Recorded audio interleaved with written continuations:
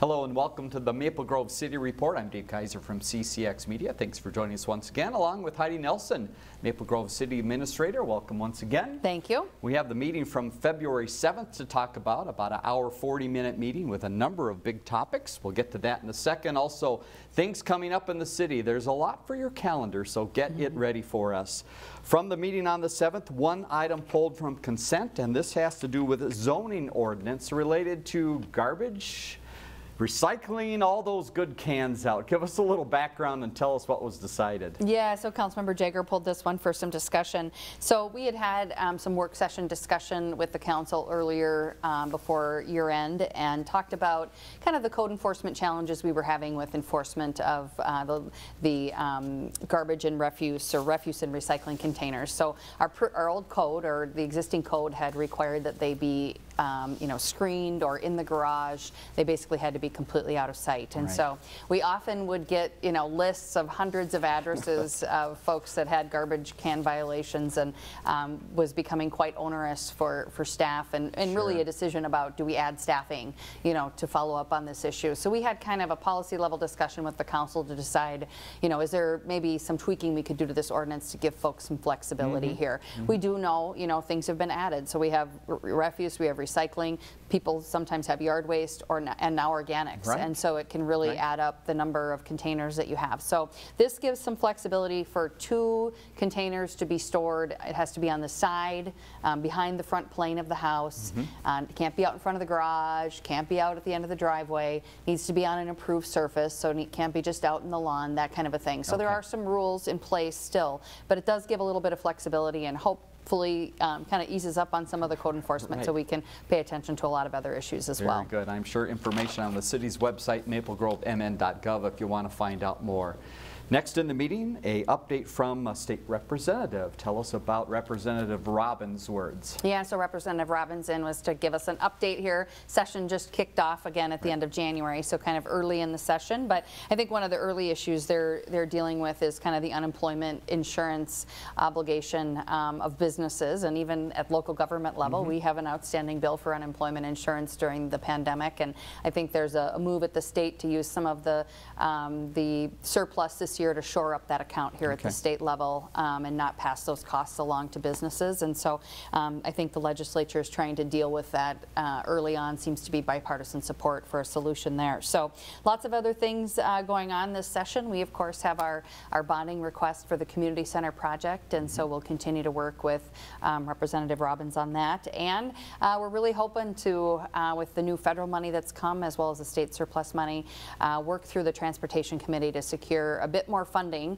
um, to get the 610 project over the finish line. We're Very in need of about another $22 million mm -hmm. of the mm-hmm. uh, total $53 million project, and so um, we're hoping to take a run at that. So we'll stay in touch with Representative Robbins throughout the session. All right, more to come here as the session moves along. All right, get ready for this. Community and economic development items. There was a boatload here and yeah. lots of big projects.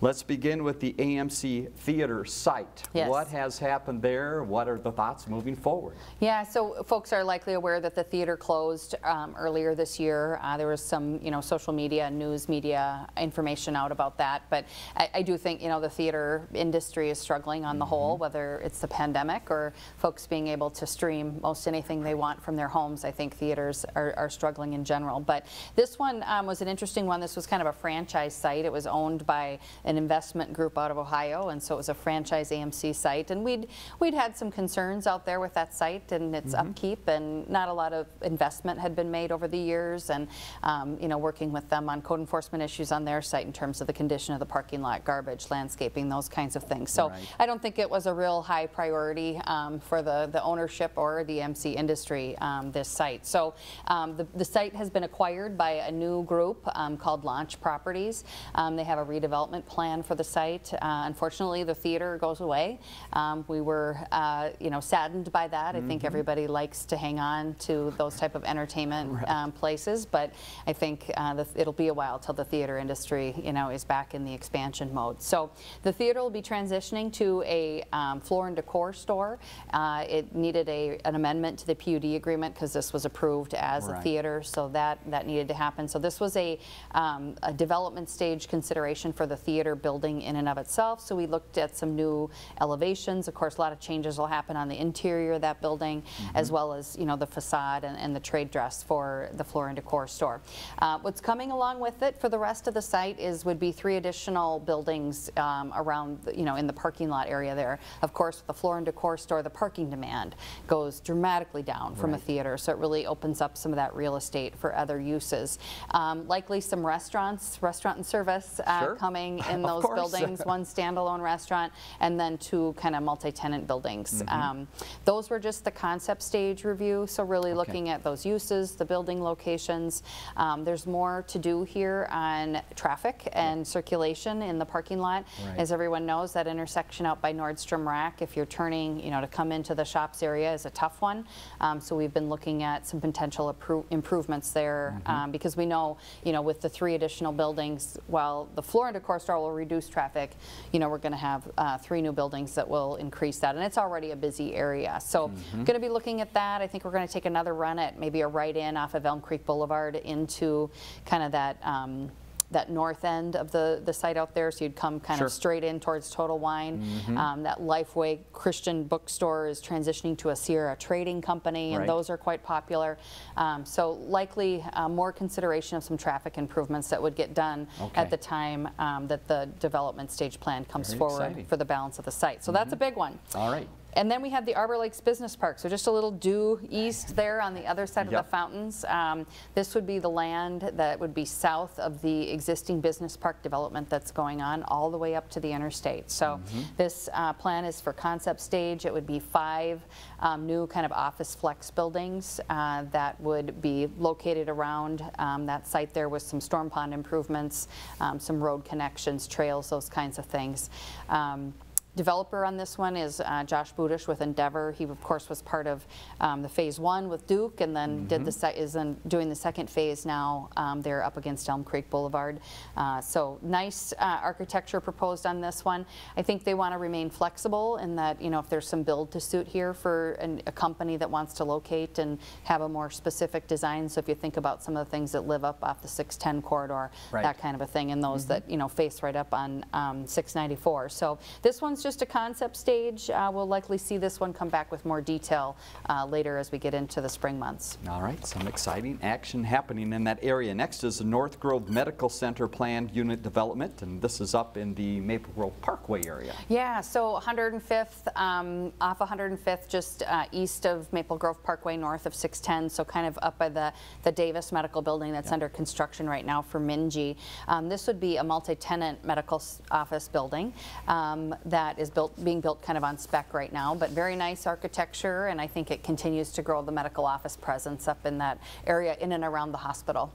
All right, then as more businesses come, we need more places for people to live. And so this next project might be one. Summerwell Maple Grove planned unit development. These are townhomes, but a special type of townhome. Yeah, so this is about 220 units, and these are rental townhomes, Mm-hmm. um, uh, just north of 105th Avenue, east of uh, Maple Grove Parkway, north of 610 up there. So a lot of activity happening Yes. up in that 105th, 610 area.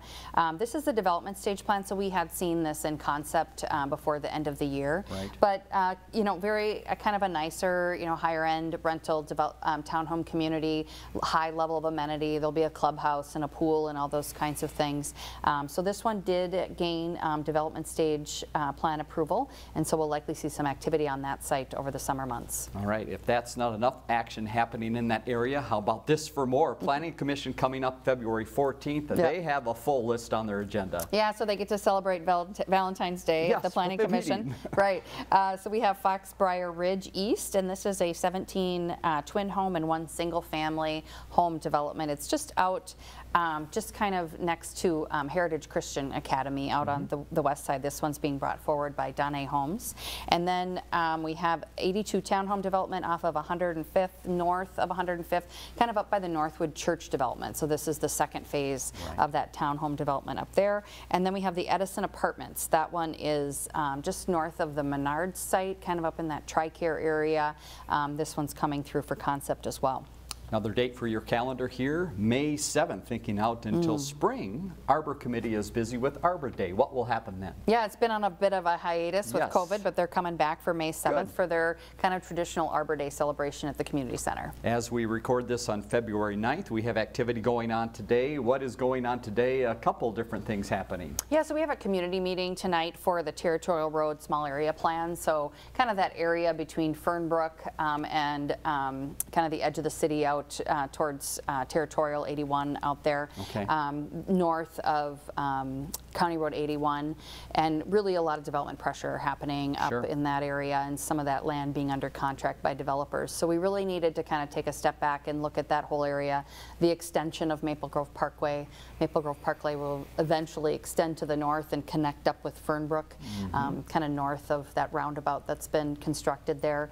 And then um, we have plans for some park improvements in that area, likely all single fam, or um, uh, residential type development that would occur up in there. We have some historic sites up in there. That's kind of where the first schoolhouse was located Sure. in Maple Right, Grove Town right. Hall. And then um, there's a historical cemetery up there as well. So as we think about some of those park improvements or public amenities, we're really um, kind of trying to tie in some of the history there with Territorial Road being kind of one of the first roads in the Right, state of Minnesota. The. Ox Cart Trail, as if I recall. It is. It was at St. Paul to Little Falls, I think, and so um, a lot of history there. Yeah. And so we want to preserve that and kind of acknowledge that in that park development up there. So kind of a neat area that we're looking at. Uh, This is, is kind of an open house meeting, and then Mm-hmm. uh, we do plan to have probably some work session time later in March to bring this forward for some broader discussion with council and involved boards. All right, the other event today, if you've noticed that construction out in front of Cub Foods, Mm. it's now opening up. Yeah, we- so we have the new Cub Foods uh, liquor store out in front of Cub in the in the parking lot there. This is Cub Foods' um, first standalone liquor store. Typically, they're kind of a side car to the Right. to the grocery store, and very nice looking store. It's uh, I think it's a little bit bigger than we all thought it was going to be on the site, but I think it looks really uh, kind of nice and attractive out there. And so they'll be celebrating their grand opening this afternoon. Another event coming up very quickly as we record. This is on February 11th, Housing for All Legislative Meeting. What Yeah. is this group once again? We've talked about them many times in the past. Yeah, so this is a group, usually they hold a legislative breakfast. Um, This one's going to be just online this year, so Friday morning, February 11th. And it's a group that um, works on uh, affordable housing issues, kind of uh, up in the Northwest Metro here. So a number of different uh, entities from the faith community, um, different organizations that serve people in need uh, involved with uh, Housing for All. And so, of course, we are generally involved at the city level as well. Um, We have a number of projects, you know, that we- are going on um, to help solve the kind of the affordable workforce housing piece, um, not only just for workforce, but also for seniors. And so um, we'll have staff present there um, to provide an update about those efforts here in Maple Grove. And last note in development, the new business is open in the shops area. This is Planet Fitness. Yes. Where are they open? Yeah, so Planet Fitness is um, open kind of at the, the far um, east end of the mall. They're in the former Forever 21 space. Right. Our Maple Grove Parks and Recreation were in there for a bit last winter doing some programming in that space. But now it's transitioned to Planet Fitness and they'll be celebrating their grand opening on February 19th. They are open now, but that'll be kind of their formal event. Very good. All right. Again, the meeting of the 7th, a long meeting. A couple of final notes here. One was from engineering talking about suburban rate authority. Again, break this down for us. What does it mean and what's the issue they're talking about right now? Yeah, so we um, have a role as part of the Suburban Rate Authority in reviewing um, the CenterPoint uh, in, you know, when utilities come forward with an increase in rates. Um, So CenterPoint has increased, made a request to increase their rates, um, increase their revenue by 67 million. Um, Typically, these type of rate increases are reviewed for quite a bit of, a quite a long period of time. Right. Um, So there has been a temporary increase approved um, of 42 million in revenue, and all of that uh, means 3.9% increase rates on residential and then 5.1% on commercial industrial. So folks will start to see that on their CenterPoint bill, and then, um, you know, that process continues as they look at that full uh, revenue increase that they're requesting.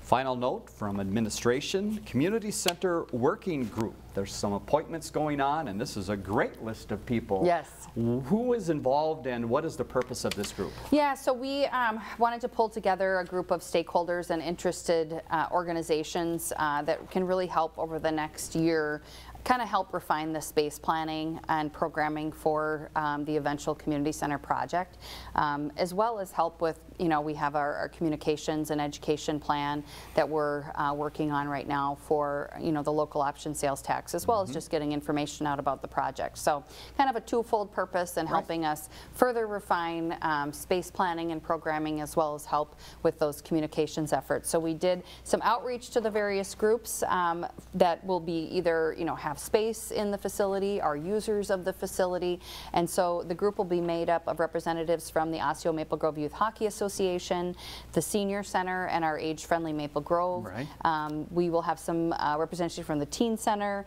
members from the former Citizens Advisory Committee, members of the Maple Grove community, so we just broad uh, community representation, Mm-hmm. um, active community center users, the Maple Grove Tourism Board, so experience Maple Great. Grove. We're going to hear more about that later in March. And then uh, the Maple Grove Historical Preservation Society, the Maple Grove Arts Center and the arts community, and then representatives from the City Council and Park Board. So kind of a Sure. robust group. Sounds we have great. about 22 members, um, but we did want to make sure we had a broad, you know, cross section of folks that will have space in the community center or have, um, you know, interest in using in our you know, use the space, Yeah. our community center users, that kind of a thing. So hopefully uh, looking to get a first meeting uh, for this group scheduled in March. Okay. And then they would serve, you know, through the upcoming year. And then as we transition, once we know kind of where we're headed with the project after the election in November, um, get going on design and, and, and likely this group would continue on and have a role in that as well. So right. this group will get underway next month. Great, thanks to everyone who stepped forward and is involved. Final note is coming up this Saturday, the 12th, as we tape this.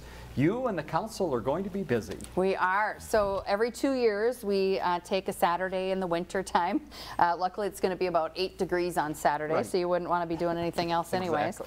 Um, and we sit with the council and our directors team and kind of talk about where we are and what the challenges and opportunities we see coming in the next three to five years and try to set some work priorities around that. Mm-hmm. Um, I think it's just a good opportunity to take a time out outside of the regular cadence of our business and, Right. and really have an opportunity to share information and for the council to, um, you know, really kind of spend that time with directors understanding um, what those challenges and opportunities are. And from that, we establish a new set of goals that uh, then will be for the 2022 to 2024 time frame. And um, we develop a work plan behind that. And, and those are things, you know, we try to pick, you know, three to five things. Because, of course, this is in addition to everything else, you know, the services and, and work that we do here at the city. But I think it, it helps um, kind of give some direction to staff and put a fine point on Mm-hmm. what really needs to, you know, be prioritized in our work at the city. So we're all looking forward to Saturday, February 12th, and we'll be down in the Emergency Operations Center at the, at the Government Center. All right, and next time we're together, we'll talk about that along with the next council meeting, which that next council meeting date is changed today because of the upcoming holiday. Tell Yes, us about so, that. Yes, city offices will be closed on Monday, February 21st in observance of the President's Day holiday, and then, of course, our meeting uh, flips to the Tuesday, the 22nd. All right, that's it for the meeting. Now let's go to some other things happening around the city, and here's something you should see in the mail and want to get a hold of. It's the Residence Guide. What's inside? Yeah, so the annual Maple Grove Osseo Residence Guide um, should be in your mailbox to all households and businesses. Um, lots of information in there, as well as a variety of, uh, you know, information about the various events that go on throughout the year, and a restaurant map. So that's always important, and they're also available at the Government Center and the Community Center to pick one up. We have been talking behind the scenes about some ways to get the state of the city information out, and it looks like the plan is coming together. What's the latest on that plan? Yeah, so we talked about, you know, the, the mayor and council were able to attend the I-94 um, Chamber of Commerce uh, State of the City event, which I think will now become kind of our, our in in-person gathering Okay. event that we will participate in for State of the City. Um, But we do want to continue to provide kind of a Maple Grove-specific uh, report out to the community, and we're, we're going to continue to do that in a video format. Format. So uh, the mayor will come in and I think sit down and visit with you about Perfect. what's happening with the city. And this year we're going to also focus on um, the new our new destination management organization, Experience Maple Grove. Uh, we'll have the interim executive director in to visit with the mayor, and I think Good. Brett Angel, our economic development manager, will also be a part of that. So it'll provide kind of a nice recap of, of what's happened in the past year in the city, what we're looking forward to, and then uh, what we're looking forward to with Experience Maple Grove as well. Very good. So be looking for that in the coming month. Community Center Gym. People are interested in that facility, but still some processes they have to go through to get there. Yeah, so we're still um, doing reservations uh, for the gym, uh, and we do have some capacity limits there as well. Mm-hmm. Lots of information available on our website about that, and you do have to make those reservations online. All right, it is winter time. We're getting out of it here, but Wonders of Winter just occurred. How was that event? What did people think? Yeah, so last Saturday was a busy day in Maple Grove. We had the Polar Plunge out at Fish Lake Park, That's and right. that was um, really a great event. Our Chief Werner uh, jumped in the lake that day along with um, Good for him. a lot of uh, various officers from the police department and members of the Rotary Club as well. So that was a fun day. Mm-hmm. And then we had our Wonders of Winter event over at Central Park. Uh, and a great new thing this year that they added um, is a kind of a it's a combination between a game called Crokinole and curling. Uh, this game uh, hails from Canada, and our own Tanya Huntley in our Parks and Recreation Department. Um, she's from Canada, and she brought this idea and thought it would be a nice addition to Central Park there in the wintertime.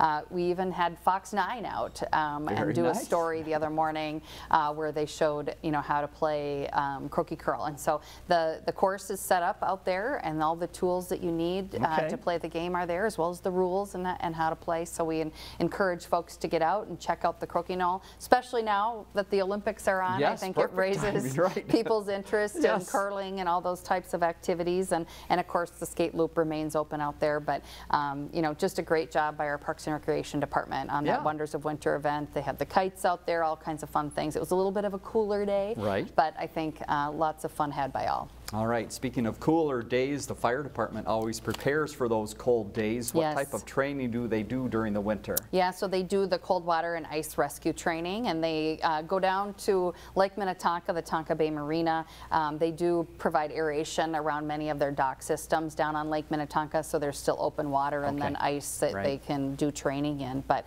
certainly um, a cold time of the year, uh, they have all the gear, you know, to get in the water Right. and, and stay protected and do that. But it's good to do that training so you're ready when something happens. All right, let's warm up with this thought, and it seems odd timing, but it's the beginning of the year, so Yes. time to get ready for recreational burn permits. Yes. What do I need to do as a resident? Yeah, so every year we ask that folks go online and get a new recreational burn permit. They are free of charge. It's really just kind of a, a place for folks to um, submit some information and then Okay. um, we really use this as an opportunity to educate folks about what the rules are about recreational fires so that um, they, they stay safe and, and recreational indeed. So all that information is available on the fire department website page. All right, and a last note to pass along. If you are into art, here's an opportunity for you with the Art Center. Mm-hmm. They've got a show coming up. Yeah, so the Maple Grove Arts Center is hosting its first show of the year through with all new artwork.